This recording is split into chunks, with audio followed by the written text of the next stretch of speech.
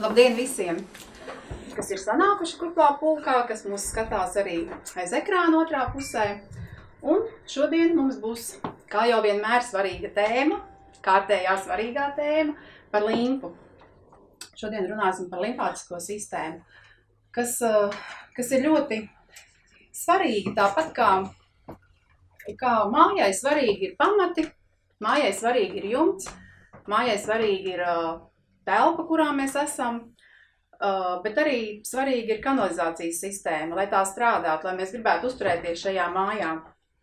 Un tā mūsu cilvēku organismā šī svarīgā sistēma, kas uh, veic mums šos kanalizācijas sistēmas, sistēmas darbību, tā ir, tā ir mūsu limfa, mūsu limfātiskā sistēma. Un uh, tāpēc svarīgi ļoti ir, lai mēs saprastu, ka mums šī, šī mūsu uh, toksīnu savācēja sistēma ir jātur kārtībā, uh, jā, jāizvada šie te toksīni, lai, lai neuzkrātos mums tie, tāpat kā, tāpat kā mūsu, mūsu ēkā, lai būtu kārtībā šīs te visas uh, attīrīšanas iekārtas. Un uh, tāpēc es gribu šodien sākt ar to, kad sākumā pastāstīšu, kas tad mūsu organismā ir limfātiskās sistēmas tās galvenās funkcijas. Un uh, viena no tām pirmajām ir aizsardzības funkcija. Uh, limfa, limfātiskās sistēmas aizsardzības funkcija ir, viņa mūs aizsardz, aizsargā pret slimībām un infekcijām. Tur uh, tā ir vajadzīga, lai izvadītu ārā visus toksīnus no mūsu organisma un aizsargātu mūsu organismu. Tad ir uh, organisma attīrīšana no vilmaiņas produktiem. Uh, kā jau minēju, ja, ka tā ir mūsu atkrituma savācēja sistēma un izvadīšanas sistēma, līdz ar to vienmēr ir jāļauj visu to, ko viņai savākus, viņai arī izvadīt, ne tikai turēt sevi iekšā. Un uh, viņa nodrošina arī mūsu starpšūnu uh, šķidrumu regulāciju un detoksikāciju. Līdz ar to viss tas, kas ir mūsu starpšūnu šķidrumā, tas viss uh, tiek aizvadīts tālāk uz limfu, un uh, atkal šī limfa ir tā svarīgākā, kas atbild, lai viss tiktu aizvadīts tālāk projām. Uh, ja skatāmies uh, to limfas sistēmu, kā viņa vispār strādā, tad uh, mums ir pati limfa, kas pirmais nokļūst limfātiskos kapilāros, kas ir pavisam tādi maziņi, maziņi, Tālāk viņai iet uz limfātiskiem vadiem, uz limfmezgliem, tad jau limfas kanāliem un nokļūst augšai ar, ar venozā vēnā. Limfas kustība mums ir uh, no, no lejas uz augšu. Limfai nav nekāda sūkņa, kā asinīm tā ir sirds, kas sūknē šīs te asinis, bet limfa, limfa viņa, ja mēs nekustēsimies, ja nekustēsies mūsu muskuļi, tad uh, mums šī līmfa arī necirkulēs. Un līdz ar to mums ir ļoti svarīgi būt fiziskām aktivitātēm, uh, tādām pareizām, kas tieši kustinās mūsu līmfu. Un es gribu tā īsumā uzzīmēt arī, kā tieši izskatās šī te uh, no šūnām, no šūnu starpšūnu šķidruma savākšana, šo te visu toksīnu un izvadīšanu tālāk uz lim, limfātiskiem kapilāriem.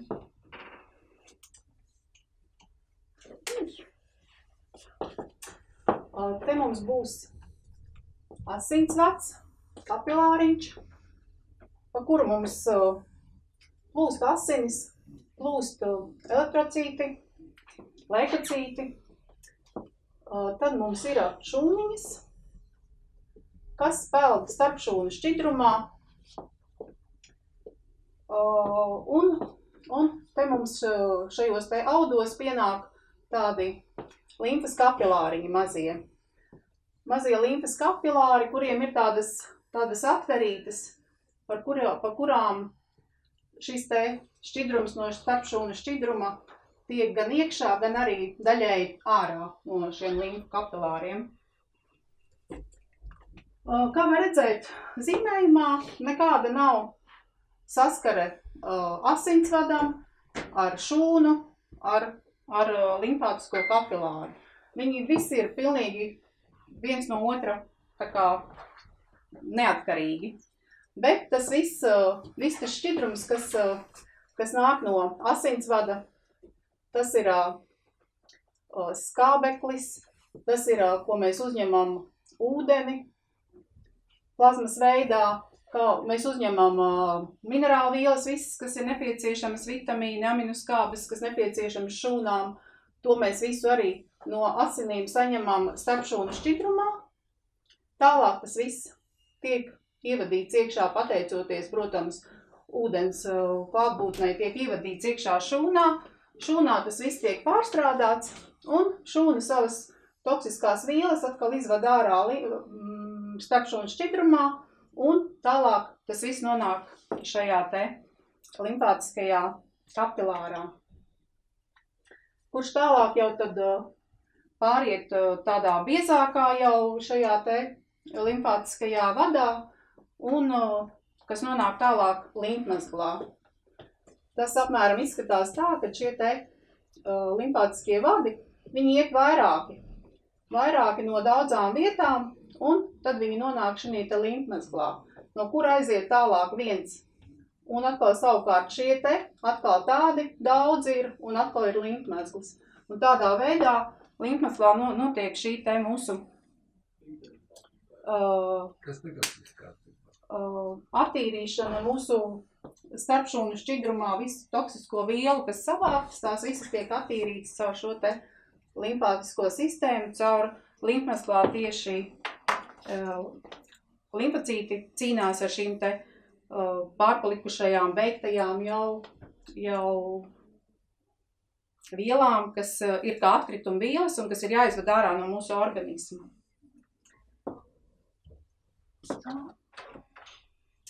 Jā, šeit arī tā, tā ir līdzīga tāda bildīga, kā es uzzīmēju. Un uh, šeit atkal mēs varam redzēt, cik svarīgi ir mums šis šķidrums, jo 70 uh, kg cilvēka organismā ir vismaz 49-50 litri šķidrums, un 2 litri no tā ir limfa, un 14 litri ir starpšūnu šķidrums, un 28 litri šķidrums ir šūnu iekšienē. Protams, tas ir pie nosacījuma, ja mēs uzņemam šo ūdeni tādu, kādu mūsu šūnas atpazīst. Jo, ja mūsu, mūsu organisms nesaņem pietiekošā veidā šo te pareizi strukturēto bioloģiski pieejamo ūdeni, tad sāk veidoties starpšūnu šķidrumā tāds bies viņš paliek, tāds, tāds bies kā ķīselis, nu tāds kārtīgs ķīselis biezais, jā. Un līdz ar to šis te vairāk šķidrums, viņš pat uh, arī pie fiziskām aktivitātēm, viņš jau vairs nespēja, nespēja cirkulēt un nespēja kustēties. Un līdz ar to tā visa mūsu limfātiskā sistēma sāka vien vairāk palēnināties un uh, nenotiek šī te organisma attīrīšana.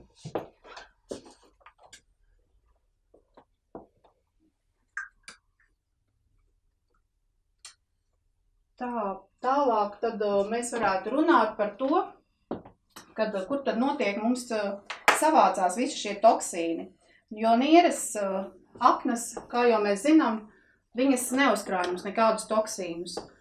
Nieres ir tās, kas mums atfiltrē tikai šīs te, nu, toksiskās vielas, tāpat arī aknas viņas padara šo te pārējo asins plūsmu mazāk uh, kaitīgu, bet tālāk jau tas viss tālāk mūsu asinsritē vienalga nonāk. Un tālāk šie te visi, visi mūsu baktērijas cēnas, ja tur tādas ir mūsu organismā, tad viņas tālāk visas nonāk limfmezglā, kur limfocīti cīnās ar šo te parazītiem un, un, un visām baktērijām. Un paši lielākie no lejas skatoties, mums lielākie limfmezgli, tad tie ir cirkšņa limfmezgli. Viņi, viņi var būt, ja viņi ir iekaisuši, viņi varētu būt arī satūkuši, pietūkuši, bet jebkurā gadījumā, ja viņi ir iekaisuši, tad notiek kaut kāda attīrīšanās šim tie limfmezgliem. Un tie notiek, tie notiek sievietēm caur vagīnu, vīriešiem caur uretru. Uh, un tas ir uh, zināms, ka tādas lietas eh, ir. Mēs, protams, tad dodamies pie ārstiem, kas ir vai nu ginekologs vai, vai vīriešiem urologs. uh, tiek taisītas analīzes, noskaidrots, vai tās ir hlamīdijas, urioplazma, mikroplazma vai piena sēne kandida vai gonorēja. Un, attiecīgi, tiek nozīmētas antibiotikas lietot vai sievietēm izraksta tādas svecītes, ko ievietot vagīnā. Un tādā veidā šī problēma tiek vienkārši nomākta, apslāpēta. Jo limfa, uh, limf, uh, limfātiskā sistēma ir vienīgā sistēma, kas tīrās caur gļotādu. Un tas ir uh, svarīgi saprast un izprast to, kad ir jāiztīrās tam visam, kas nāk ārā, tam ir jāļauj arī nākt ārā. Lai cik tas būtu nepatīkami un gribētos varbūt ātrāk to visu apturēt un, un, un, un ko arī ar šīm svecītēm var izdarīt. Jā, var būt tās, bet tas ir uz kaut kādu mazu mirkli, jo problēma jau netiek atrisināta. Uh, tas viss, uh, tās visas baktērijas, kas tur ir bijušas, viņas vienkārši, viņas vienkārši tiek kaut kur, nu, tā kā iekonservētas, un viņas tur pat iekšā arī paliek. Viņas tālāk, tālāk šo ceļu nevar iziet un nevar iziet ārā, jo tie jau ir beigt, beigtas, beigtas šūnas, vilmaiņas atkritumi, kas ir jāizved ārā no mūsu organismu, tāpat kā mēs izvedam arī citas lietas dabīgā procesā. Tā, tā tad katrā ziņā neko nevajag apslāpēt savā organismā, ja kaut kas nāk ārā, tad tam ir jānāk ārā. Un, ja mēs iztīrīsim limfātisko sistēmu, tad arī mums arvien mazāk būs šādas problēmas un, un, un, un nu, antibiotikas. Viņas varbūt iedarbosies uz kādu konkrētu vīrusu vai baktēriju, bet, bet viņi arī, viņas arī nogalinās mūsu, mūsu uh, imunšūnas. Un līdz ar to mūs, mēs tikai iedzīvosimies vēl lielākās problēmās, varētu būt pat noteikti kādās sēnēs. Un tad atkal viss tas process sāksies no jauna. Nākošie lielie limfmēsli, kas mums ir, tie ir mūsu zārnu traktā. Zārnu traktā parasti tā kā, nu mēs zinām, jā, dakteri bauda šeit, dakteri bauda šeit, bet to zārnu traktu kaut kā par limfmēsliem kaut kā mēs tā kopā nesaistam ar zārnu traktu. Bet izrādās, ka tur atrodas ļoti daudz, ap tūkstots. Uh, un pie kaut kādām mūsu saslimšanām ar, ar caurēju, dizantēriju, vai kādu salmonelu mēs dabūnam, tad mums, protams, ir caurēja. Un, nu, bieži vien saka, ka tāda ar gļotām pilnīgi. Un tas ir atkal tas skaidrs, ka tīrās mums limfa, jo limfa tīrās caur gļotām. Un atkal ir šī te caurēja, nevajag viņu taisīt ciet, nevajag viņu mēģināt apslāpēt, bet jāļauj ir atkal visam tīrīties zarnu traktam, lai, lai tas viss izietu ārā, nevis kaut kur atkal paliktos. Nākošie ļoti, ļoti svarīgie limfmēsli, visi jau zina, kuri ir nākošie. Padusītes, jā. Padusītes, un šodien pats skatoties vēl, vēl, vēl informāciju par desderantiem, es atradu vienas firmas desderantu 48 stundas vai cik bija, un tur bija viņam arī pamācība klāt, ka nevajag jau lietot tikai desderantu no rīta, bet viņu vajag arī vakarā, lai tā viss kārtīgi aiziet ciet, ja. Nu, tad vienkārši, nu, nav, nav, nav, nav īsti komentāri tam, bet uh, mēs zinām un mēs saprotam un arī gribam visiem jums pateikt, ka nevajag dezodorantus lietot. Ja jums nepatīk sava ķermeņa aromāts, tīriet limfātisko sistēmu un atrisināsiet šo problēmu. Jo arī tādu nepatīkamu aromātu bieži vien var just Uh, pie veciem cilvēkiem ieejot mājās, kur, nu, kur dzīvo tādi veci cilvēki, tāds, tāda īpatnēja smarža, tā ir tā, tā limpas smarža, jo viņa maz kustās un, un tā ir tā sastāvējusies tāda, tāda īpatnēja tāda smarža. Smaka. Latviski sakot smaka. Tāda īpatnēja smarža. aromāts. Tāpēc nevajag vecus cilvēkus. Īstenībā cilvēki ļoti loži, ja viņš nav aktīvi. Jā, un tur to nevar nomākt ne ar kādiem dezodorantiem, smaržām, neko tas sanāk vēl briesmīgāka smaka. smaka, tā kā jā. Uh, nu jā, un uh, runājot tieši par šiem te padas slimpmesliem, uh, Tā ir tā vieta, kur mums nonāk visa, visa limfa, kas ir no rokas, kas mums ir no krūts dziedzariem un no kakla zonas. Līdz ar to, tāpēc ir ļoti svarīgi, lai mēs neaiztaisītu ciet šos limfmezglus tieši, lai, lai tie sviedru dziedzeri varētu mums izdalīt ārā šīs toksiskās vielas, jo savādāk, ja mēs, nu, te starpšūnu šķidrumā peld šie te toksīni, viņi iet uz, uz, uz limfas kapilāriem, tālāk aiziet jau līdz limfmezglam, Un šeit viņiem ir tagad viss no, no, noštupēts. Tur stāv priekšā dezodorants, ska, skaists, maržīgs.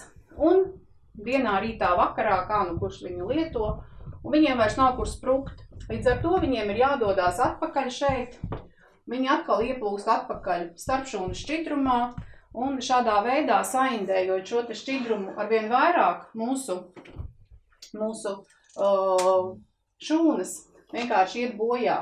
Viņas vairs nespēja uh, darboties šajā te purvā tādā sastāvējušā, kur nenotiek nekāda apmaiņa.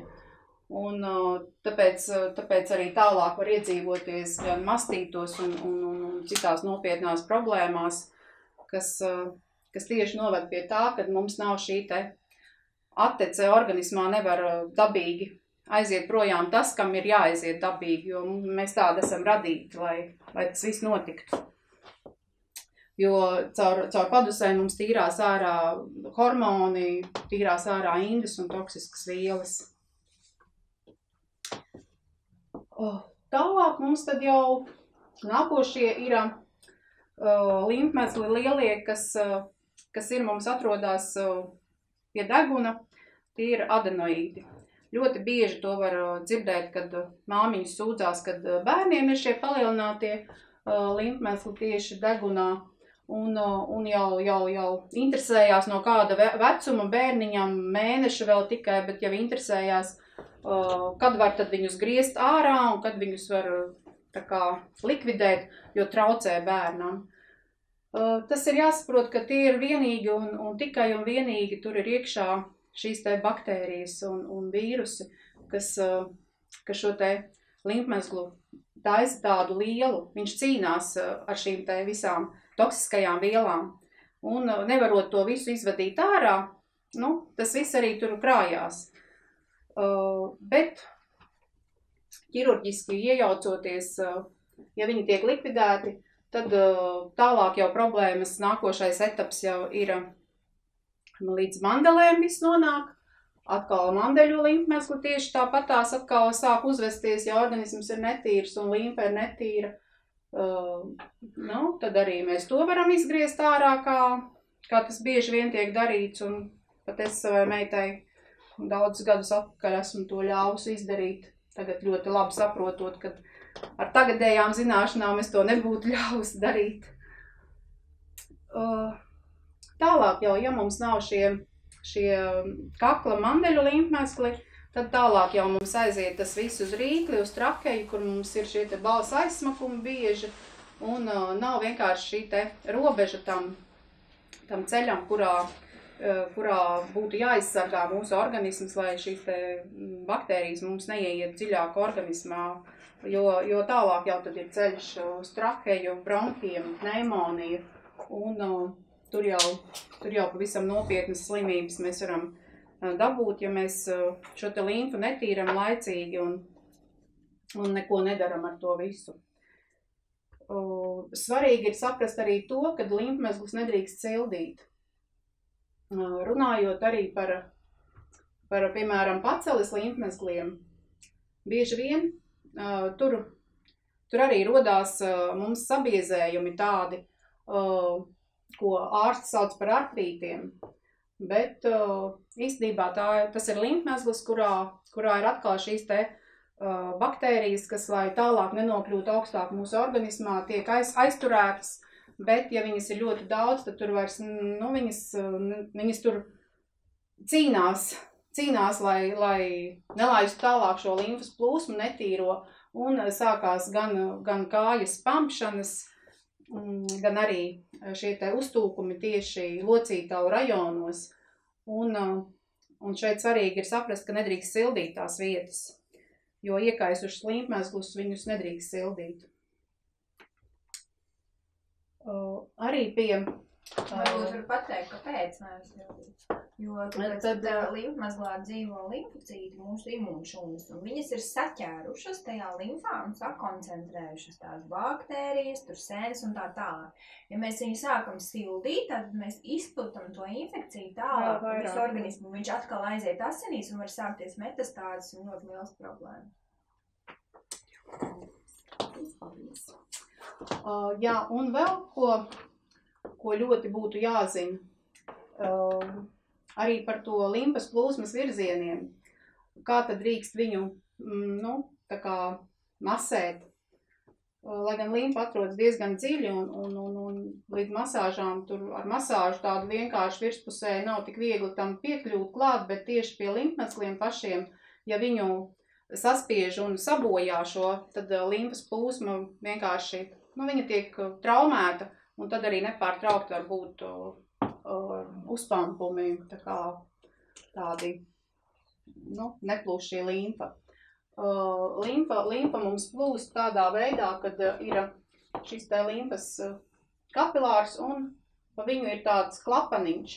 Tā limfa, ja mēs, uh, nu, taisam pareizus vingrojumus, muskuļu saraušanās rezultātā limfa mums plūst uz augšu, un kā viņa aizplūst, tā šis te vārstiņš aizvarās ciet. Viņa atpakaļ netek. Uh, bet tas nozīmē, ka ir, ir jāveic šie pareizie vingrojumi, lai mēs šo limfu iekustinātu.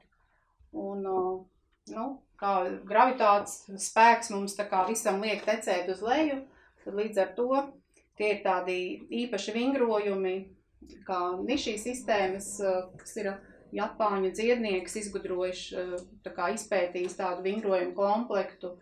Mm, Joga ir ļoti atbilstoši vingrojumi. Tie nav nekāda spēka vingrojumi, bet tie ir tādi, kur mēs izkustinām visas muskuļu grupas un, un arī šo te līmfu.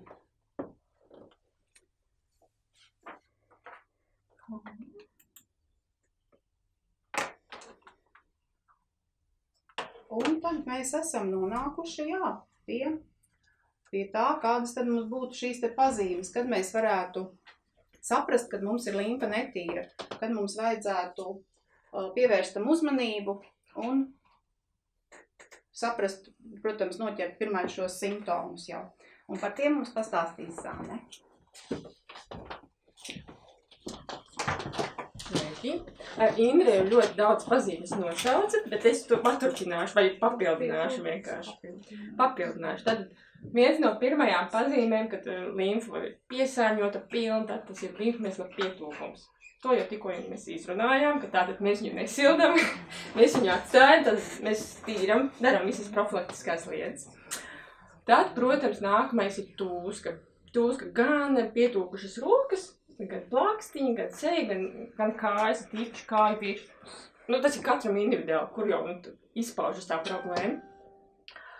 Uh, arī vēnu problēmas, kad kājas ir tā kā baļķi. Baļķi patiesībā tas ir starpšūnas šķidrums sas, sastājies, un viņš līdz ar to bloķē asins plūsmu. Un veidojas vēnu problēmas. Vispār visi tik ļoti savā starpā saistīti, droši vien, ka līdz zāļu traktam arī tiks, kā tas viss iespēdo visu šo kvalitāti, tīrību un plūsmu, gan līmfai, gan asinīm, gan, gan visiem pārējiem procesiem. Tātad arī izdalījumi gan no mutes, gan no maksts, gan no Jā, uretras. Tad visa veida izdalījumi tā arī būs piesārņota līmfa, jo viņai kaut kur taču jāsviež tas viss ārā. Tas arī jau daudz maz tika izrunāts tātad. Un aromāti. Gan mutes aromāts, gan ķermeņa aromāts, gan sviedru aromāts par, par dezodorantiem es vairāk nepie, nepieskaršos, jo tas jau tika izrunāts, bet vispār izstāstīšu no savas pieredzes. Man vīrs sporto, viņš vairs nav nekāds jaunais. Viņš noskrien 10 vai 15 km. Viņam nav aromāta. Vienkārši nav aromāta. Un man kaimiņš, es dzīvoju mājā, kurā ir lifts, noskrien, es nezinu, cik viņš tur skrien. Es vienkārši nevaru iet tajā liftā, tur pēc kaķa mīzeļiem. Es atvainojos par izteicienu. Bet nu, tur ir tāds, un uzreiz var just. Piemēram, man vīri brauc katru dienu riteni uz darbu, un viņš nepārģēr mm, drēbes. Viņam ir apmēram 9 km jābrauc, bet nu vasarā vienalga iesvīst. Nu, Iesvīst man nesani. Iesvīst. Iesvīst, iesvīst. Tas jau labi, veselīgi. Veselīgi, jā, bet eh, līdz ar to viņam nav jādomā par, tomēr, par drēbu pārvilkšanu. Tādēļ vien, ka nav šī, šī ķermeņa aromāta specifiskā. Viņš tev tīrās. Nu, tīrās, jā, jā, bet... eh, Ko viņš liksies? Kur viņš liksies? Nē, viņš labprātīgi tīrās. Viņš apzinās to, ka tas, tas protams, palīdz arī sportām visā pārējā. Tātad eh, vēl viena pazīme, ka līmezglī ir cieti, tīpaši padusēs, ir plaukstu svīšana. Vienkārši elementāri plauksti. Ir daži cilvēki, kuriem vienkārši svīst plauksts, ka negribas nu, sasveicināties.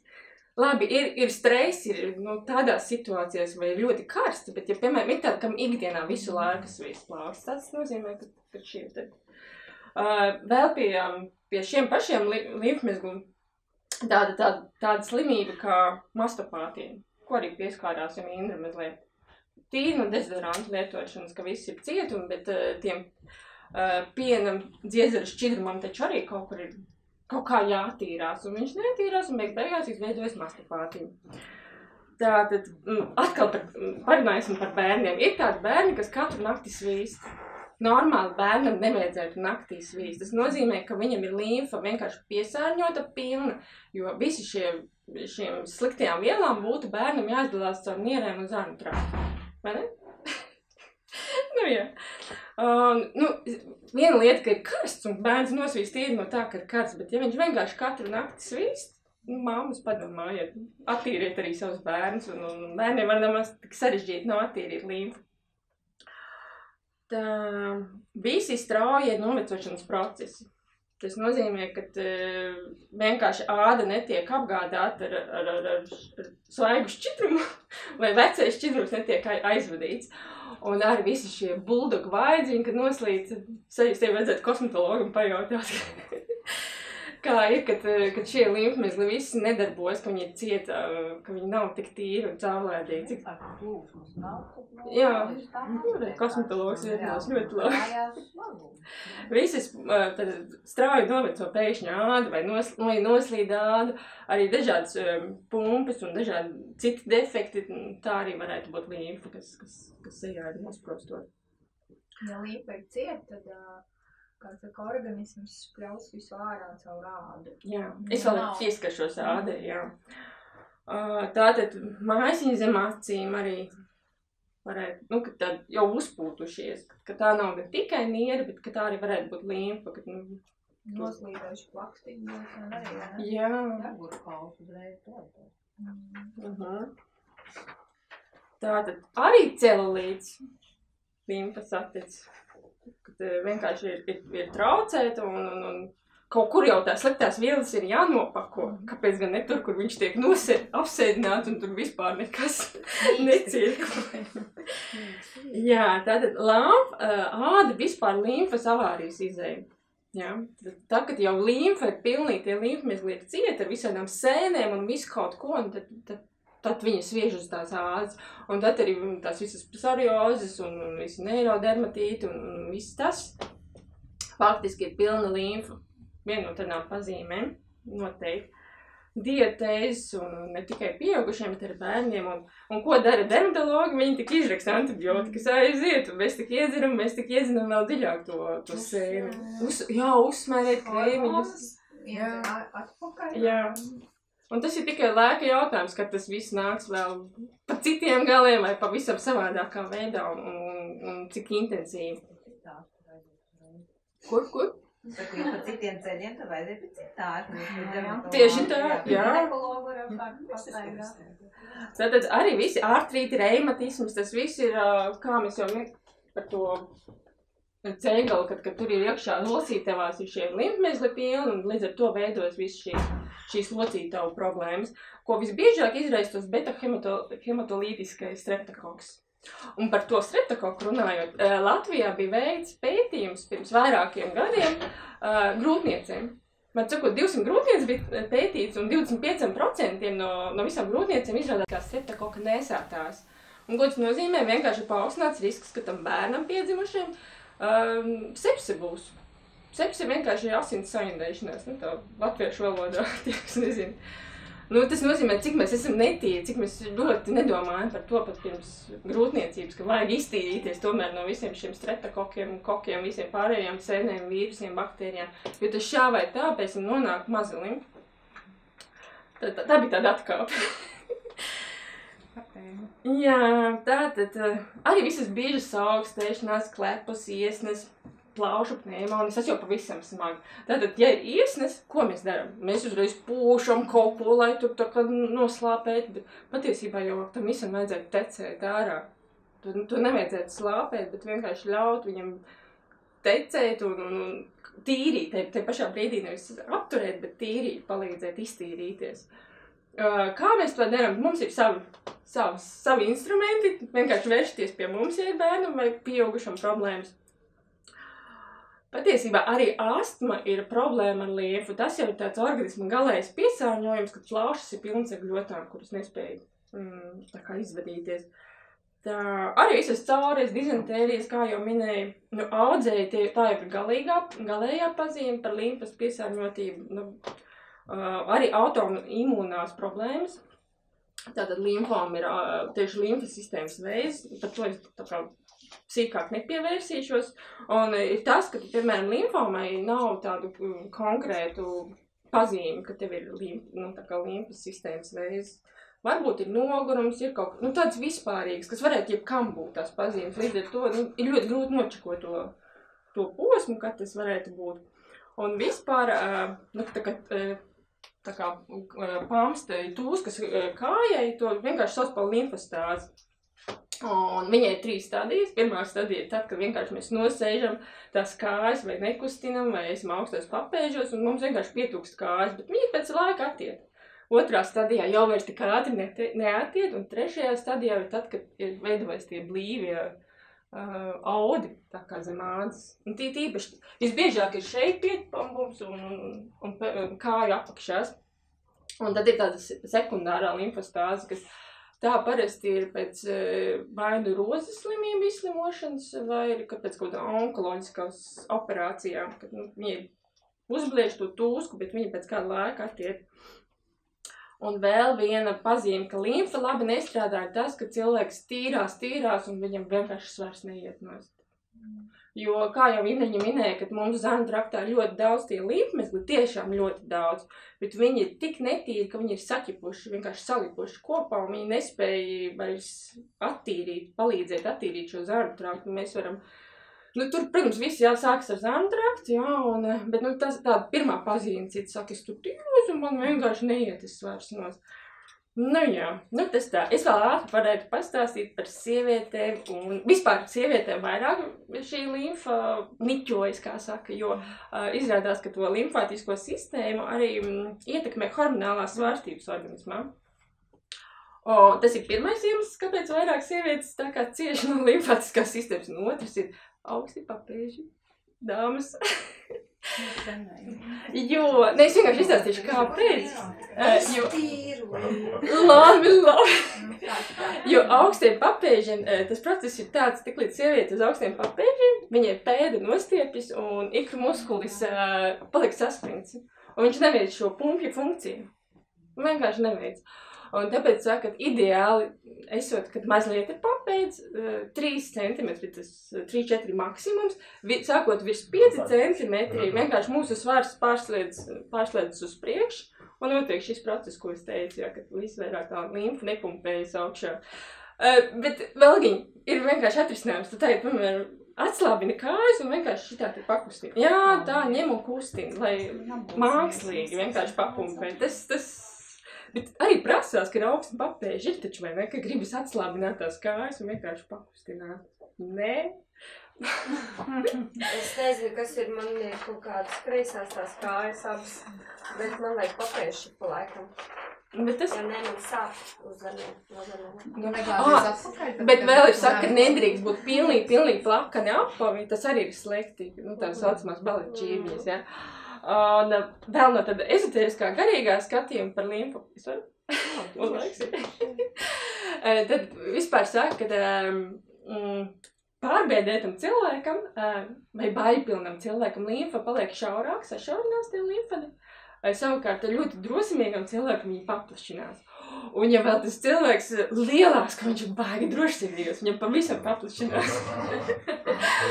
un tad ir tāds teiciens, ka tā šaurā upē vienalga netīrās, vai viņai ļoti strauja tā strauma tek, ja viņi vienkārši nespēja tās šaurās, nu, straujās straumes attīrīties.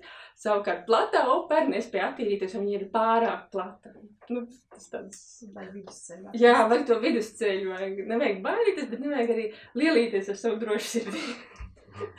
Lai tā. Un vispār limfa esot tā, ka tā, problēmas ir vairāk tiem cilvēkiem, kas, eh, kam patīk dzīvot svešu dzīves. Dzīvot citu dzīves, tā kā iejaukties citu dzīve, dzīvēs. Tāds teiciens. Tas no tāda ezotēriskā garīgā skatu punkta. Man par pazīmēm ir Jā, paldies, paldies, Anīte. Uh, jā, un, un vēl kā, tāpēc ir ļoti labi sēdēt kā bosam, kājas uz galda, un limfa strādā un tak tur, kur vajag. Bet uh, tālāk mums tad, uh, nu, skaidrs simptomi mums ir, tad mums ir jāsaprot, kā ar to visu cīnīties, kā ar to visu tikt galā. Un uh, limfologs profesors Levins jau, jau daudz gadus atpakaļ pētīja šo te uh, limfātisko sistēmu un mēģināja saprast, uh, kādā veidā, uh, kādi produkti, kādi dabas produkti darbojās, lai varētu attīrīt šo te limfu. Un viņš veica eksperimentu, eksperimentu ar pelītēm, uh, nodzenot pelītes plikiņas, Viņš viņām ielaida zem ādas uh, ziļonku un uh, nu, tādus krāsainus šķidrumus. Un viņām tad deva dažādus preparātus. Un skatījās, cik ātri šis te pelītes ādiņa paliek atkal tā kā tīra. Un, uh, un tādā veidā viņš pierādīja, ka uh, ļoti labi šie te preparāti ir uh, lakricas sakne, kas ir arī mūsu klubā, sarkanais āboliņš labi strādā, mežrozīte, auzas, pelašķis, upeņu lapas, aveņu lapas. Mm, Kādu laiku atpakaļ vēl, kad es mm, nebiju mm, tā, tā iedziļinājusies šajā visā, man šie visi produkti, vat upeņu lapas, aveņu lapas, man likās tādi, nu tādi, kad slims esi, tad ir jādzer, tā kā izsvīsti labāk, bet, nu, tas jau ir tas, jā, kad mums tā limfa tad sāk kustēties un, un mēs viņu tā kā varam iztīrīt tādā veidā, jā. Tā kā tie ir tie, kas mums tā kā šo te limfu stimulē, limfas to kustību. Tāpat laikā lietojot nošpu un pretiekais un medikamentus, mēs bloķējam tieši limfas tecēšanu, mēs bloķējam. Bet mēs nerunāsim par bloķēšanu, mēs runāsim par limfas stimulāciju un par to, kā, kad un cikos jātīra mums ir limfa Un par to mums nāks pastāstīt vēlga. Vēlgucis. Un par tiem produktiem tad, tad meitenes pieslēgsies tev par produktiem. Jā. Bet es varu pastāstīt uz kopējais, bet pēc tā varētu arī būt.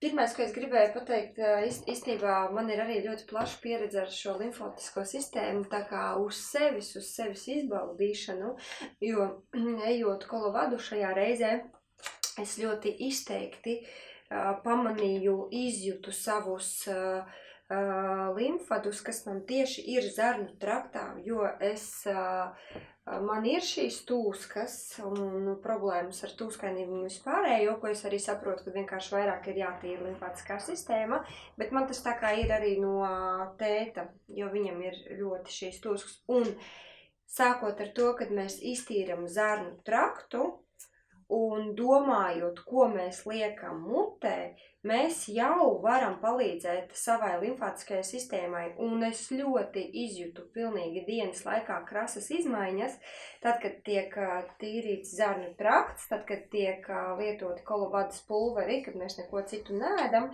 cik ļoti izteikti uh, sāk strādāt limfa, jo uzreiz man nogāja uh, tie 3 kg, kas bija uz limfātiskās sistēmas bāzes, jā, jo tas ir uh, limfātiskā sistēma, principā, ja sakrājās kājas, viņa ir ļoti smaga. Tāpēc ļoti bieži tik stāvam un skatāmies uz tiem svariem, tas svars neiet nost, jo tāpēc, kad nav vēl iztīrīt šī limfātiskā sistēma. Um, pirmais, ko es gribu uzreiz uh, pateikt, ka nekāda limfātiskās sistēmas tīrīšana nav iespējama, ja mēs nedzeram ūdeni. Tas vienkārši nav iespējams. Indriņa arī minēja, ka ir jābūt bioloģiski pieejamam ūdenim. Ja?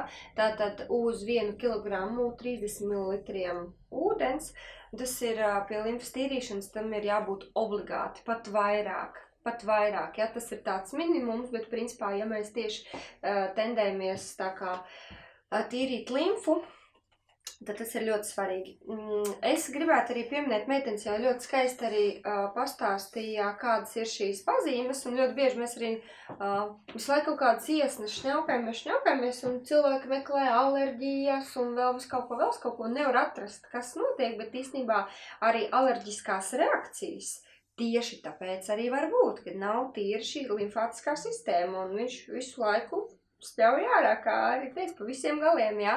Vienkārši ir jāpalīdz zemtraktam un jāiztīra limfa. Tātad, kas nelabvēlīgi ietekmē, tā ir kūpināta gaļa, ļoti sāļa pārtika, ko mēs, kā sacīt, jāsaka, jā, paši pa savu naudu nopirkām iekšā, ielikām, un tad ir pārsteiguma moments. Um, rafinētie produkti, maizes izstrādājumi, saldumi, jo tāpēc, kad limfātiskajā sistēmā arī plūst dažādas uh, sēnes, baktērijas, vienšūņi, kas barojās ja, no saldumiņiem. Principā, ja jūs tā kā plānojat sakārtot organismu un uh, tīrīt limfu, tad tam sarakstiņam vajadzētu pievērst uzmanību. Uh, pārtika ar mākslīgajām piedevām, tas ir dažādas, viss, kas ir krāsains, visas krāsainās konfektes, visi, kas ļoti smuki izskatās pārtikas plauktos krāsainā pārtika, jā, tur viss kaut kas tā kā ir iekšā un, un, un, un tos tā kā vajadzētu atturēties mm, gāzētie dzērieni, jā, jo tur ir tomēr visas ogliskābā gāze un tā tālāk. Gāzētie dzērieni boržomī var uh, padzerties pirms, uh, pirms ēdiena nedaudz, lai aktivizētu tieši fermentatīvo sistēmu mutē. Tad parasti vai nu kaut ko tur sāļu uzēd, vai tad gāzētie dzērieni, bet uh, dzert katru dienu gāzēto dzērienu, es nezinu vispār, kāpēc viņi Es nezinu, man rodas laik, tas jautājums, bet nu, tāds ir tāpat tās kā bērnu suliņas, ja?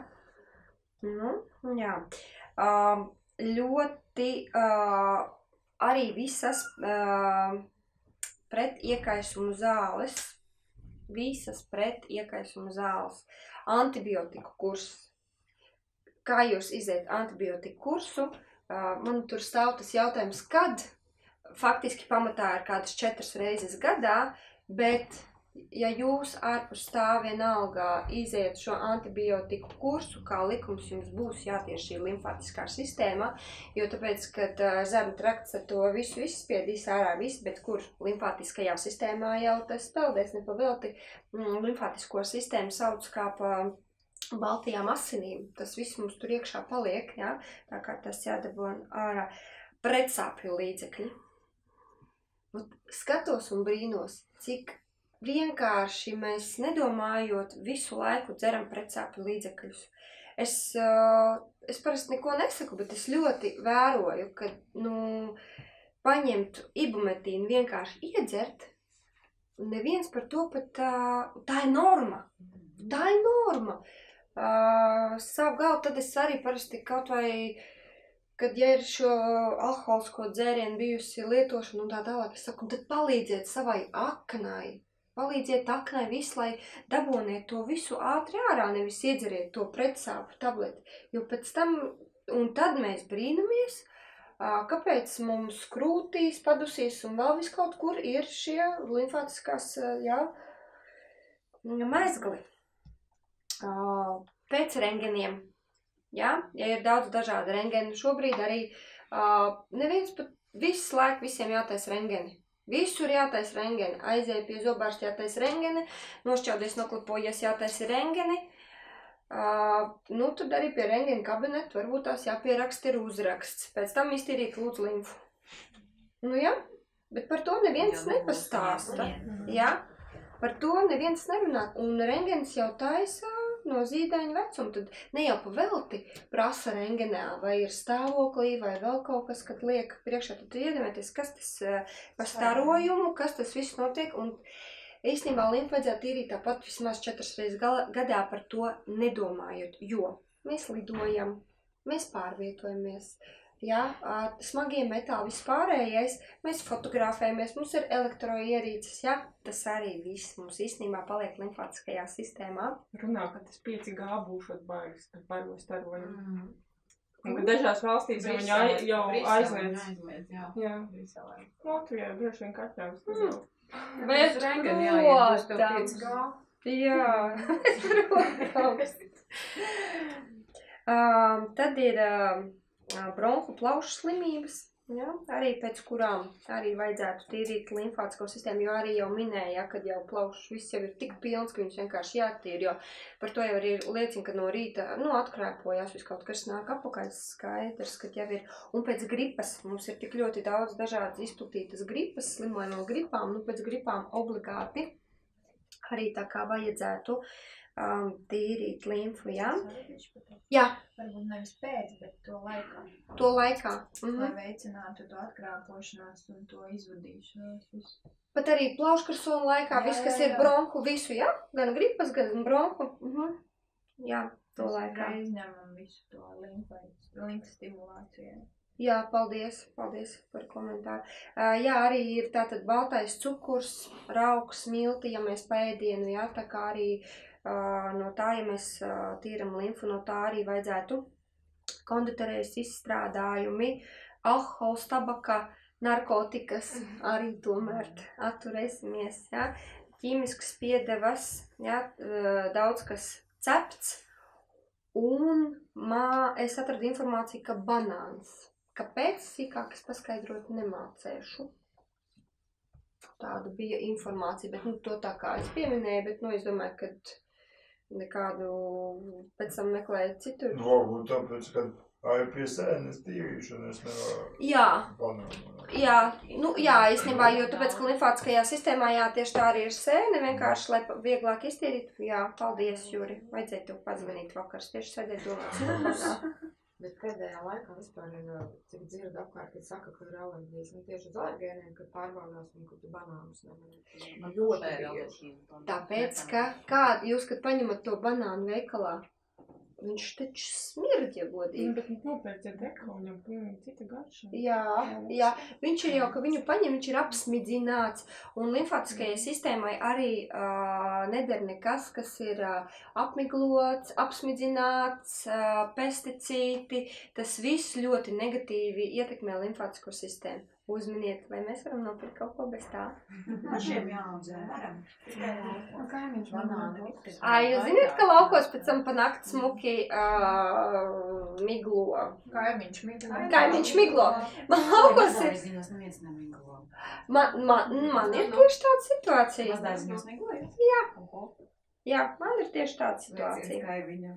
Jā, sveiciens kaimiņam. Lai lido, nu, pavasaros vai kaut ko. Jā, jā, jā, Jo nezinu, kur te uzkrīt, uzsmidzina kaut ko. tieši tā.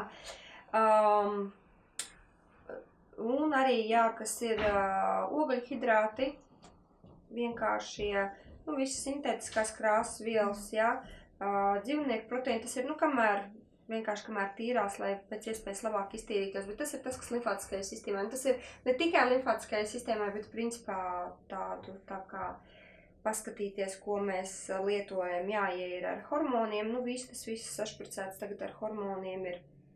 No tām vajadzētu, no antibiotikām tām visām vajadzētu atturēties. Uh, uh, limfātiskajai sistēmai patīk pākšaugi, rieksti, kas ir nomērcēti. Mēs esam stāstījuši, ja, kad rieksti ir jānomērc, ja, jebkāda rieksti, bet tur arī nevar īstenībā riekšus cēst saujām. Viņi ir jāskatās uh, līdz desmit gabaliem aptuveni, ja, bet viņus tā kā vajadzētu izmērcēt. Uh, obligāti tātad ir šim vajadzīgajam. Ūdens daudzumam jābūt. Uh, lapu salātus, var, ko var ēst, jā, lapu salātus, dažādi augļi, ogas, nu, banāni tie ir ekoloģiskie, uh, apelsīni, nu, arī, nu, nomizot, vai arī, uh, es īstenībā es esmu ļoti iemīlējusies uh, uh, korālu uh, mazgājumā līdzeklī. Uh, es mazgāju visus augļus, visu ādu, kāda ir āda, viss nav nekādu kairinājumu, jo es esmu ļoti jūtīga uz to. Tā kā to visu var nomazgāt. Tātad mandeles, valrieksti, jūras aļģes, jūras kāpos, jo tur ir ļoti daudz jods, ja? arī patīk. Linsēklas, vistas, olas tieši, palīdz arī limfas atjaunošanās. Nu, tas ir neaizstājumās taukskābes lecitīns, ko mēs pēc tam tā kā runāsim.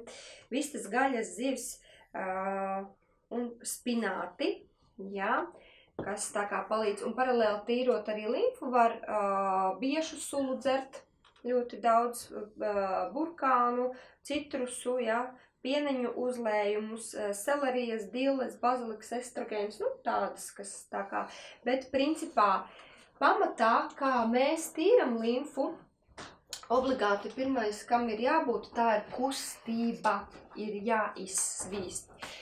Jo limfu iztīrīt bez kustības, principā arī nav iespējams. Tā ir, nu, limfas stimulācija. Uh, Inga jau teica, vai tie ir jogas vingrinājumi, uh, tā ir lūkšana saulē. Tev, tev ir, ir šo vingrinājumu, jā. Uh, jā. Ah, Labi. Tieši tā. Tā tad ir šī uh, kustība. Var arī paskatīties, ir uh, ļoti daudz uh, internetā, ko mājās var izdarīt. Tas ir šī, uh, manā skatījumā, ļoti labs ir tieši šī uh, lūkšana saulē, ko katru rītu mēs izvingrinājam. Jā, tiek visi iekšējie orgāni, jo uh, mēs visu laiku aizmirstam par tiem, uh, kas ir zarnu traktā tieši. Tas ir ļoti, ļoti svarīgi, jo no zarnu trakta arī jau vēl viss tas atlikušais, lai ieiet limfātiskajā sistēmā un attīrās. Uh, un ļoti svarīgs arī jau izsenis atklāts uh, limfas tīrītājs ir lakrits sakne un limfa lau. Pēc tam to uh, vaibiņa pastāstīs. Jā. Um, tad ir, uh, vienmēr sakot, tukšā dušā uh, divas kapsulas divas reizes dienā ar, uh, ir jāizšķīdina siltā ūdenī, aptuveni 36 grādu līdz 40 ne siltāk, jo tad, ja jau ir pārāk karsts, pirmkārt mēs nevaram iedzert, un, un, un tad arī tās uzturvērtības var aiziet bojā aptuveni 36 grādu ūdenī, jā, tēju, tādu mēs izdzeram un veicam šo kustību, ja, lai izdzenājam pa visu limfu. Un tad ļoti svarīgs ir arī sorbents, kas visu absorbē, kas visu savāc un neaizstājumās taukskāps sorbents mums ir uh, alfa alfa, var arī būt koral kelps.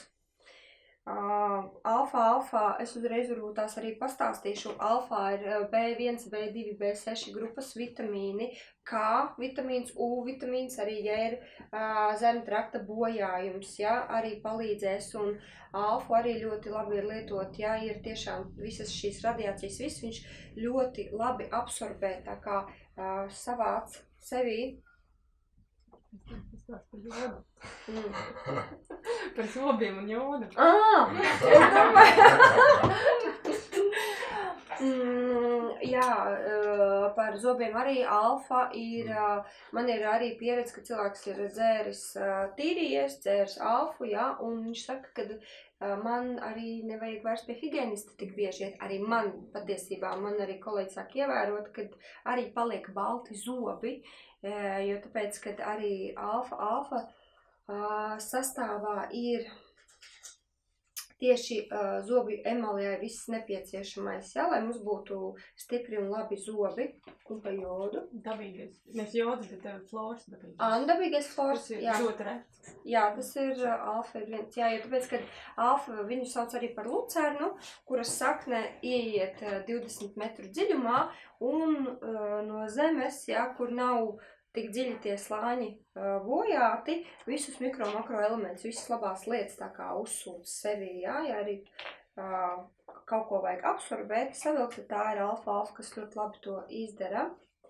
Uh, viņi tā kā savāc visus toksīnus, indes, uh, baktērijas mirušās, par ko jau meitenes arī runāja. Un mārdedzes vēl arī ir kā absorbents. Un tad aptuveni tātad pirmais ir uh, lakricu, kā tīrīta. Uzrakstīt, jā? Un To schēma ir ļoti nesaprotu. Nu. Tad, nu, es maliņā. Jo pirmais ir tā limfas stimulācija. Jā. Viņa tiek stimulēta. Tas ir ļoti svarīgs moments, vismaz divreiz dienā. ne? Jā, divreiz dienā stimulācija. Ar ko mēs stimulējam? Mēs stimulējam ar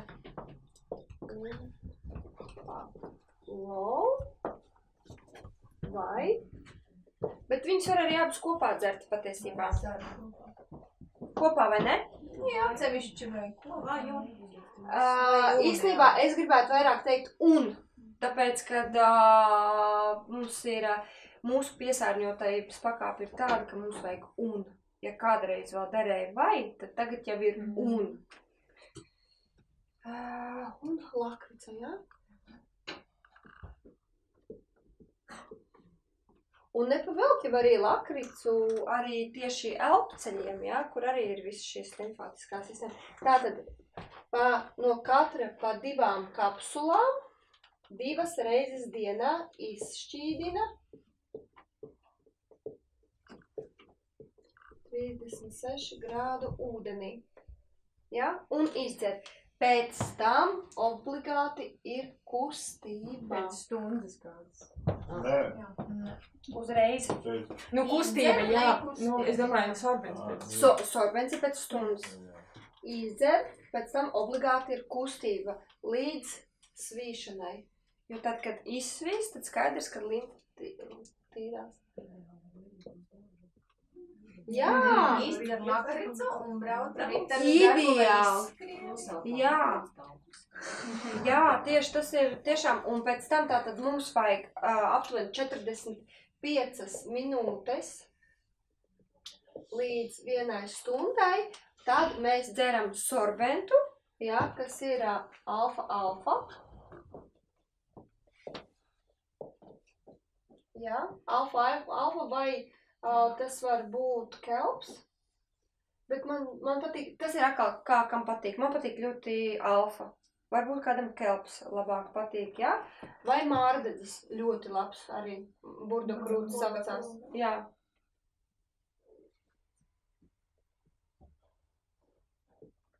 Arī ļoti labs aknām, arī visām, bet tā uh, lucerna, arī tā alfa alfa, viņa zina vienīgā nieru kodu, Kāpēc man viņa ļoti patīk, jo tas ā, arī tā uzlabojās nieru filtrācija ļoti izteikti. To var just, jā. Un tiem, kam ir ļoti liels tūskas un vispārējais, tad, nu, brīnišķīgi palīdz. Jā, un tas sorbens ir vajadzīgs, tāpēc, ka tā līpa ir sadzīta. Tie, viņa ir, nu, tā kā tās visas gļotas nāk, nāk, nāk, nāk ārā, un mums vajag visu to savākt, to miskast, un to tikai tas sorbens izdara, tāpēc mēs tik efektīvi, vai ne, to varam izdarīt. Jā, tieši tā. Un pēc tam, tad, kad mēs ēdam, jā, pēc tam, tad ēšanas laikā mēs lietojam, tad te ir ēdam. Bet cik ilga laika? Ā, principā, Jā, nu, pusstunda arī. pus, pusstundu. Jo vajag jau grūti. grūti un gari, jā, pie mūsu laikapstākļiem un mūsu skriešanas, tad, ā, nu, rakstam tā, ideāli viena stunda vai 45 minūtes, reāli 30 minūtes.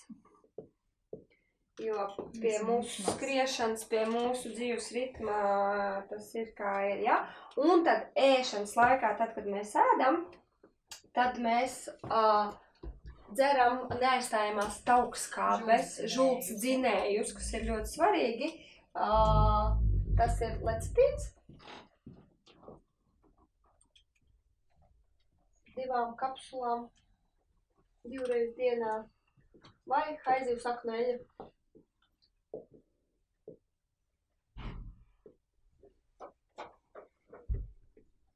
Principā tā, bet man arī ļoti, ļoti, ļoti patīk lecitīns.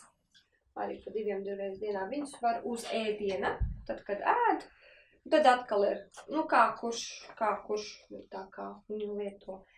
Nu, principā tas, un tā, kas ir ļoti svarīgi, tas ir uh, vismaz 14 dienas.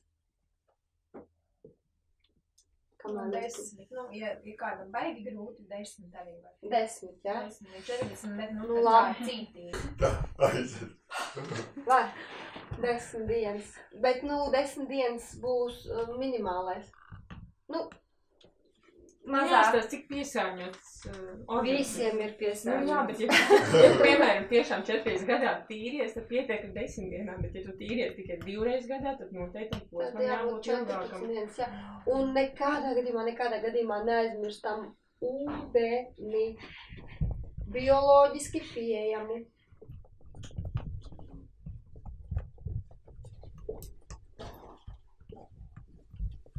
Gāzēt var droši nedzert, nedarbosies, jo tāpēc, kad ja nedzersim pietiekošā daudzā, daudzumā ūdeni, par limfas tīrīšanu pat nevar būt runas, jā.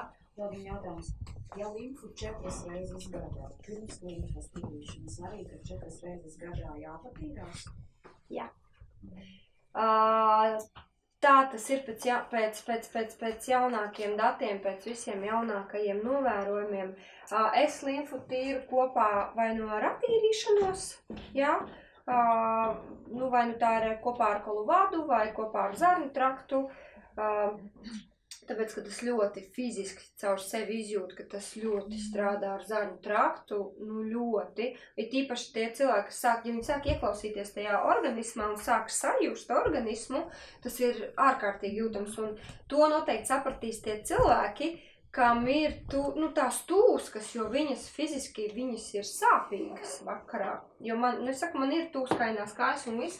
Viņš ir tie cilvēki, to ļoti labi saprot, jo daudz kam tikai nāk iesnas, kas vēl uh, var to pieciest. Tas ir savādāk vēl, jā, bet tiem, kam ir tūskas un, un, un jo tās tūskas īstenībā viņas jau arī, ja šī limfātiskā sistēma tūkst, patiesībā tas ir ļoti uh, bīstami visam organismam, jā. Ja domāties, jums visi iekšējie orgāni visu laiku, viss ir saspiesti, viss, nu, ar laiku tā ir onkoloģija, gribētu teikt. Man ir jautājums. Tagad populāri ir tie ruļu masāžas, kas tā arī saucās limfas masāža. Vai tas ir pieskaitāms pie tām kaut kustībām arī, vai tas ir vēlams, vai tas vispār galīgi garām ir? Kā, kā Es negribu teikt, ka tas ir viss galīgi garām, bet ja tā būs, ja tur būs netīra limfa, un ja tur būs netīra zemetrakts, man ir pāris gadījumi, kas vienkārši ir izslēgušies tur. Jūs iedomājaties, ka to visu netīro limfu sadzen galvā? Tas ir viens un otrs, ka paliek zilumi, lielākā daļā no viņiem paliek zilumi, un tas ir signāls jau arī par to, ka, nu, ne, nevar būt uh, izteikti zilumi pēc masāžām. Nu, dažreiz jau gadās, ja, bet, nu, visu laiku, ja tu to limfu to aparātiņu dzēn, dzēn, un tev zilumi, nu, tas jau arī nav pareizi. Jo zilums jau nav nekas baigi labais. Man jautājums, limfa un nagas sēnīte, nu kā tur tās attiecības ir? Naks ir limfa. Jā. Tāds arī ir tās Viss, kas ir limfā, viss ir nagā. Viss ir nagā. locītā. Mhm, mhm, tāpēc ir. Es varu bišķiņ Jā, par to jā. mehānismu, kāpēc Jā. limfa tur pēdējo tīri, nu, bišķiņ tikai. Jā. Pabeidzi? Es pabeidzu. Nē, nē, nē, man nekad nevar iztraucēt, es vienmēr gatavu. Kāpēc mēs parasti sakām, ka ar limfu mēs uzreiz nesākam tīrīt? Tāpēc, kad tad, kad tīra limfu, ļoti grūti ir pirmkārt aknai, ļoti grūti organismam, jo mēs, ja mēs sāksim dzenāt limfu un neiztīrīsim zarnu traktu, tas sanāk tā, ka mēs visu laiku kakājam podā, ja, un, un mēģinam kaut ko izšrubēt. Mums sākumā jāsavāc tās kakas jau, un, un, un teiksim, pēc tam mēs tikai varam ķerties pie limfas. Un kāpēc arī tas žūdzinējs ir vajadzīgs? Tāpēc, ka tīrot līmfu ļoti, ļoti liela slodze ir aknai. Tieši tāpēc arī žūdzinējs mēs vienmēr iesakām. Es īstenībā lecitīnam un kaidzīvu saknu taukiem vēl arī klāt lieku artišoku, nu vai, piemēram, burduku. eh, Vēl tiem taukiem, ja klāt arī, eh, arī to, kas eh, atvieglo to aknu darbību. Tie advancētākie cilvēki, kas jau ir izgājuši entās kolovadas, var līmfu tīrīt kolovadas laikā. Zinat, ja to? Kad jau, nu, tad vienkārši ātrāk, uzreiz tā, optam, ja, bet, nu, iesācējiem neieteiktu.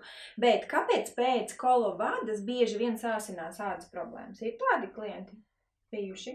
Nu, pati šogad. Jā, pēc kolovadas, mēnesis, jā. Limfa.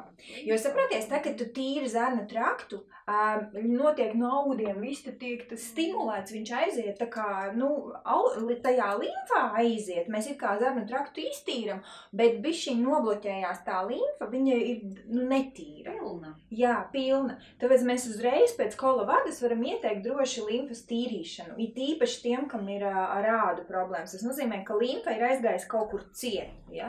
Un tad mēs pēc tam, pēc tās kolovadas vai pēc kaut kādas pretparazitārās tīrīšanas, vai tiem, kam ir sāsinājumi, piemēram, tad, kad tā esi pretparazitārās programmas vai tur sēņu programmas, ja iznāk uz ādas vairāk kaut kas, mēs uzreiz vai nu paralēli, vai ja nepaspējam pēc tam to līmfu cītīgi, cītīgi tīram, jo cilvēkiem ir nenormāli nobloķējušies limf, limfmezgli vispār kā tādi, ja nav, tā limfas vispār tā caurlaidība, un kāpēc parasti arī ādas problēmas ir limfmezglu rajonos, ja, tieši tāpēc, ka tur tās imunšūnas arī dzīvo, un caur, turieni, mē, ja limfa ir ciet, ja, tad tajā limfmezglu rajonā atveras āda, Un ir ādas problēmas tajā rajonā. Tur ceļgalī, locītavas, kāpēc vienmēr visas bildītas mēs redzam ar bērniņiem, kam ir egzēmas, vienmēr šeit rociņas, ja?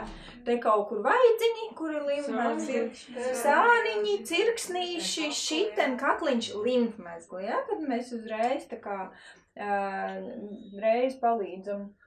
Jā, to es gribēju teikt. Jā, viss. Nu, cik, ā, ā, cik mazus vēl tīri? Limfu? Jā. Oh, es domāju, ka lakricu var jau droši, kā mēs viņu sākam jau tīrīt, deviņi mēneši vai pat pusgadiņiem. Nu, pusgads jau ir bērniņiem problēmas. Tur... Ja jau te. Jā, ja jau tek tā, tad tas tek limfa. Jo saprotat, viss, kas tek tā, ir mirušie leikocīti, kas limfmazglos ir saķēruši tos mēslus un vada ārā. Tā tecēšana jau nozīmē, ka limfā tas viss dzīvo. Jāskrien ārā tie krepiķi, nevis jāiet atpakaļ. Jā, jā, jā. jā. Un vēl par tām mandalēm un visiem tiem adenoīdiem. Jāsaprot, ka tie līmezgli ir mūsu sargu posteņi. Viņi visu laiku sargā no lejas uz augšu. Šlagbaumi. Kā postenis, tur imunšūnas sēž un kontrolē. Tiklīdz kā viņas kaut ko sāk tur saķert, tā viņas saķer. Un tad sākumā degunā mēs jau atļaujam izgriezt šīs šos te limfmezglus, kas sargā aiziet tālāk uz mandelēm, izgriežam mandeles, pēc tam aiziet galvā. Man ir vienkārši ļoti daudz klienti bijuši, kam ir izgrieztas mandeles, es saku, un pēc tam meningīts, jā, meningīts. Tāpēc, ka te vairs nav barjeras, šeit vairs nav tā sargātāja posteņa, ja, šo, kur dzīvo imūnšūnas, jo limfmezglos dzīvo imūnšūnas. Viņas tur dzīvo leipocīti, un viņi uzreiz skatās, aha, un, no, nu, tā kā neutralizē, ja. Un, ja nav vairs šī sarga posteņa, tad tas viss var aiziet, visa infekcija pēc tam var galvā aiziet, un, un tad ir nu, liels problēmas. Vienotien, ja nepaspēja pēc tīrīšanas uzreiz limfātisko sistēmu patīrīt, ko darīt? Nu, piemēram, paiet kāds, zin, kā zinājām, tad ir pāris gadījumus, pagāja pusmēnesis, mēnesis, var pēc tam Jā, jā, jā, jā, limfu var tīrīt. Uh, vislabāk limfu tīrīt siltā laikā. Bet, piemēram, vai nu, kad jau ir ieslēgta apkura, vissliktākais laiks limpas tīrīšanai ir tad, kad, piemēram, izslēdz apkuri un ārā jau ir augsti. Jo, ja limpa mīl tādu, viņa plūs siltumā. Visforšāk tīrīties arī īstenībā ir tad, kad jūs esat vai nu siltajā zemēs kaut kur aizbraukšus uz Turciju. Ot, paņemat vienkārši lakricu līdzi ar limflovu, alfu, alfu. Vēl, protams, pretparazitāros var visus dzert, lai nesavāktos kaut kādus tur ārzemju mēslus visādus. Īstenībā es atbraucu no Evans, man tas tā kaut kas zarnās sāpēt, man liekas, man ir tā. Mums atvedi. Es jau satveru, zini, kā Kādu kā ceļotājs. Visu valstu. Jā, jā, jā.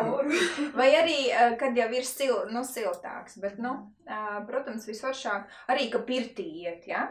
Mēs eh, visu šito te lakricu, linklovu varam iedzert pirms tam, ja? Mums nav obligātās kūris, mēs varam ik pa laiciņam arī viņu iedzert. Nu, tā. Nu, liels paldies visiem par papildināšanu, par, par, par daudziem jautājumiem, kas tika uzdoti. Bet tad uh, vēl, vēl nu, smalkāk izstāstīsim par šiem produktiņiem. Ja?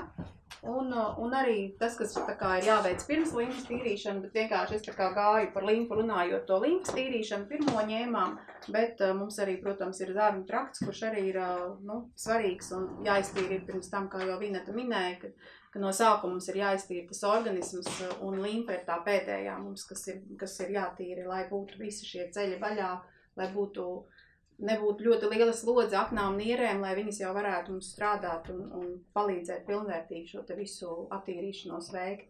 Tā kā tad par šitiem te produktiem, jā, Baibiņa nāk stāstīt par vienu, jā, tad nāc par vienu stāsti, un tad jā.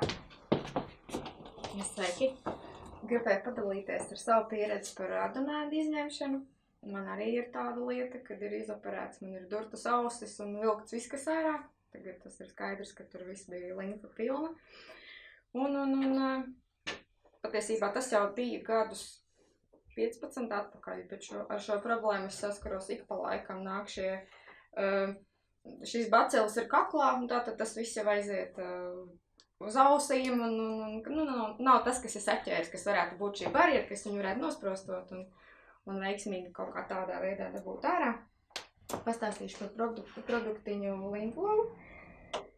Uh, ļoti labs produkts, kas palīdz uzlabot limfas cirkulāciju un limfātiskās sistēmas darbību kopumā. Uh, un šis produkts veicina arī toksīnu un lieko šķidrumu izvadīšanu no organismu, kā arī palīdz stiprināt imūnsistēmu un uzlabo pašsajūtu kopumā. Produktā, produktā ir četras aktīvās vielas. Tas ir ķirsis, produktam tiek izmantots ne tikai ķirša mīkstums, bet arī lapas un kātiņš, kuru satur, satur tādus vitamīnus kā C, B1, B6, PP1. Augu pigmentus, miecvielas, kamerīnus, citronu un ābolskābi. Ir izpētīts, ka augļa ekstrakts uzlabo asins un starpšūnu šķidrumu vai limfas cirkulāciju, tādējādi nodrošinot asinsvadu, drenāžu un veicinot liekā šķidrumu un šlakvielu izvadīšanos no organisma. Otrs uh, produktiņš mums ir melnās upenes. Tiek izmantots gan lapas, gan ogas.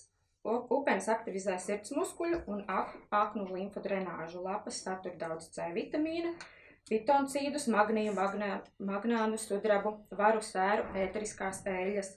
Lapa ekstrakts palīdz izvadīt no organisma lieko urīnu un urīnskābi. Trešais produktiņš ir pētersīles. Pētersīļa ļoti noderīgās ēteriskās eļļas, glikozīts, vitamīni, flavonīdi, bagāts, ļoti bagāts ar C vitamīnu, kurš kop, kopā ar citām aktīvajām vielām uztur mazo lielo asinsvadu elastību. Turklāt aktīvajai vielai, kas atrodas pētersī lapās, misticīnam piemīt spēcīga pretiekaisuma un pretsāpju iedarbība. Un ceturtais augs šajā produktiņā ir ķīniešu hibiska roze – Augs, kurš lielā cieņā ir arī tieši Āzijas valstīs, austrumos, un tur šis augs tiek pielietots kā tonizējošs un vispārspēcinošs līdzeklis. Augam piemīt daudzveidīgs bioaktīvo vielu sastāvs, ir antociāni, proantacionīdi, organiskās skābes. Šim ziedu ekstraktam piemīt lielisks antioksidantu īpašības, novērš asinsvadaudu, retināšanos un bojājums. Man ir jau pašai Tas par augu būtu. Paties viņu lietoju nu, jau otro nedēļu, jo izgāju veselu zeļu traktu un tad patreiz notiek aktīva limpas tīrīšana. Par šiem te ruļiem, ko, ko mēs tad jau, kur, kurus pieminējam. Arī es esmu viņus izmēģinājusi. Es no savas puses gan varu pateikt tikai to labāko, bet pirmā reize bija, un ir jāskatās, un tur ir iepriekš īstenībā labāk to darīt tādā vietā, kur ir ārsts vai kāds mediķis, kas, nu, lai nav tikai, kad kā kosmetikas kabinetā, nu jā, arī uzregulē un visu dariet kā, kā tur pēc schēmas. Es domāju, pēc rulēšanas, pirms rulēšanas, pirms stundu varētu iedzert arī lakrīts vai limfloju lieliski, man liekas. Ja es tā arī daru. Zāļu trakts un tīri limfu, tad var rulēt, mm -hmm. bet ja visi netīri, jā, jo vienkārši masāžās neveic. Vispār limfas masāžu neveic, kamēr cilvēks nav iztīvis. Es baidos, viņš tur man uz galda, kas zina, kas var notikt. Jā, kā, kāda jēga dzenāt netīru limfu, vai ne? Sūdu dzenāt reāli par organismu. Galvenais, ka tur arī. Bet tad arī nav tie ģībuļi, man liekas, virsū, ka tev ir tev sadzēm galvā visu, visu. Tāpēc, ka organisms to, ko ir nopakojis, celulīta veidā, mēs sadzenam tos visus toksīnus nenormālos atpakaļ asins. Asins ritē, un tad tas aiziet. Tā kā, nu, bez tīrīšanās to īstenībā nedrīkstētu. Bet ja tas, jā, ja kāds, ja kāds vēlās, tad tīrot līmfu paralēli to darīt, manuprāt, diezgan Jā, veiksmīgs jā, un jā, labs, ja tīri, ir zaļu trakts tīrs un tīri limfa, tad jā. Tā, tas pa līmfām viss, paldies. Tā, es tad mm, tīri pāris vārdos, tātad ar ko vislabāk attīrīt, visātrāk un vienkāršāk un saudzīgāk būtu attīrīt ar šo veselu zēnu trakts komplektiņu. Man liekas, ka par viņu stāstīts ir tik daudz, es tā tīri piecos vārdos. Tātad tur ir 18 dažādi Coral Club produkti, kas man liekas ļoti, ļoti izdevīgs iepakojums, ka nav jāpērk veselu buņģu brigādi mājās, bet ka viss ir skaisti sapakots trīs kastiņās pa desmit dienām, kas jālaiž tātad pirmās desmit dienas ir vienkārši attīrīšana, kad attīramies mēs no uh, dažādiem apakšīrniekiem un, un citiem brīnumiem sastāvējušiem vēderā. Uh, otrās, uh, otrā kastīte tad atkal desmit dienas, kad vienkārši mēs visu aktivizējam un jau sākam dot labās baktērijas tā kā vietā, lai mums arī aktivizētos uh, ši, šī augšana. Un tad, tad pēdējās desmit dienas, kad mēs visu atjaunojam, atjaunojam tīpaši fermentu darbību un uh, zārnu traktu darbību un labo baktēriju augšanu. Uh, Kā jau minēja, uh, kad vajadzētu visas attīrīšanās laikā, arī mm, līmfas attīrīšanas laikā noteikti dzert daudz dzīvu sārmainu ūdeni, ko mēs iesakām lietot tieši ar koralmainu. Jo ūdenim vispār ir jābūt eh, vairākiem parametriem, lai viņš būtu šūnai derīgs un organismam vispār draudzīgs. Tad viņam jābūt tīram, bez dažādiem mikroorganismu piemaisījumiem, tur sēnēm, baktērijām, uh, chloriem un, un citiem piemaisījumiem. Tad nu, koralamaina ūdens mm, neutralizē visus šos dzelžu un chloru savienojumus. Tātad ūdenim jābūt viegli mineralizētam. Uh, koralamaina ūdeni, ūdenī, manuprāt, ir 70 mikro makroelementi apmēram. Uh, Tātad viņam jābūt ir negatīvi lādētam, tātad tas ir oksidēšanās, reducēšanās potenciāls, tad, tātad koralamaina ūdens spēj sniegt uh, bizmās mīnus 50 šo oksidēšanās, reducēšanās potenciālu vai tuvu nulai, atkarībā kādā ūdenī mēs viņu ieliekam, cik kvalitīvā vai cik dzīvā vai nedzīvā ūdenī. Tātad par to dzīvo, nedzīvo ūdeni ir tā, ka, eh, ja viņš ir nedzīvs, viņš vienkārši šūnai atņem elektronu. Vienkārši atņem enerģiju. Nevis dod enerģiju, bet atņem. Un, uh, jo viņā ir uh, tātad lielāks tas mīnus, šīs oksidēšanās, redz- reducēšanās potenciāls, jo viņš ir vērtīgāks antioksidants. Ā, Tāpēc, piemēram, saka, ka tu- tur zaļā tēja, vīns, tomātu sula, ka viņi ir antioksidanti, jo viņiem šīs oksidēšanās, reducēšanās potenciāls ir apmēram plus 50. Bet eh, šūnai vispār, lai viņa spētu uzņemt kādu šķidrumu un lai viņš aizvadītos, eh, tam, tam intervālam jābūt no plus 50 līdz mīnus 70. Tas ir tas vēlamais, lai neutralizētu iekšējās skābes un, un vispār notiktu cirkulācija. Tātad ūdenim jābūt strukturizētam, pareizi si- simetriski veidotam, tad šāds ūdens ir, viņā ir šī okeāna enerģija. Viņam jābūt virsmas sprāgumam apmēram ap 43, jau 45, eh, kas viņu skaitās eh, dini uz, uz, kubi, ne, uz kvadrātu centimetru. Tad koralamēna ūdens izveido apmēram 43 tu- šos dinus uz, uz, uz kvadrātu centimetru. Jo mūsu šūnas apmēram 70-80% sastāv no ūdens, un vienkārši, lai viņos tiktu iekšā, šis ūdens, viņam tas sprāgumam jābūt zemam. Uh, apmēram uh, krāna ūdens sprāgums ir ap 73 šiem, šiem diniem uz kvadrātu centimetru. Bet ir tāda tendence, jo ūdens ir siltāks, jo viņam šis virsmas sprāgums uh, paliek tā kā krītas zemāks. Vienkārši piemēram, es zinu, ka spirtam, spirtam šis virsmas sprāgums ir tikai 22. Tāpēc eh, tā es zālīšu uzlēmu šajā spirtā, lai, lai šī zālītes eh, tā kā labāk tiek šūnā iekšā, lai viņas neiestiek garām. Eh, Tas vienkārši salīdzināja. jo arī nesmējies. Piemēram, dzīvesudramam savukārt ir kaut kā 300 eh, s- mm, daudz viņam. Ne, viņam pat 472. Tāpēc, kad dzīvesudraba nosiež eh, uz zemes, viņš paliek gandrīz kā bumbiņš, viņš neizšķīst. Viņam tas virsmas sprāgums ir ļoti blīvs. Saprat, ja? nu, vienkārši, nu, kad... Man ir sapratu. Jā, kad... Uh, tātad uh, ūdenim jābūt ir uh, sārmainam. Tātad koralmaina ūdens viegli sārmaina ūdeni veido, arī atkarībā, cik mēs sārmainā ūdenī ieliekam viņu. Tā, tās ir tās galvenās tās īpašības, kādam jābūt ūdenim. Varbūt jūs vēl kādu piemirst?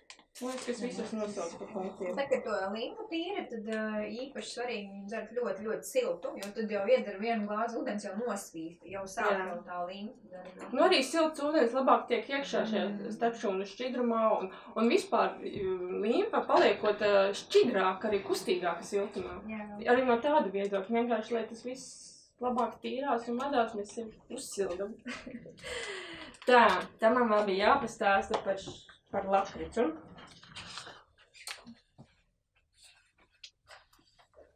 Nu, lakrica vispār ir fantastiski universāla, manuprāt. Šajā lakricā ir ne tikai lakricas ekstras, bet tur ir iekšā ingverīši.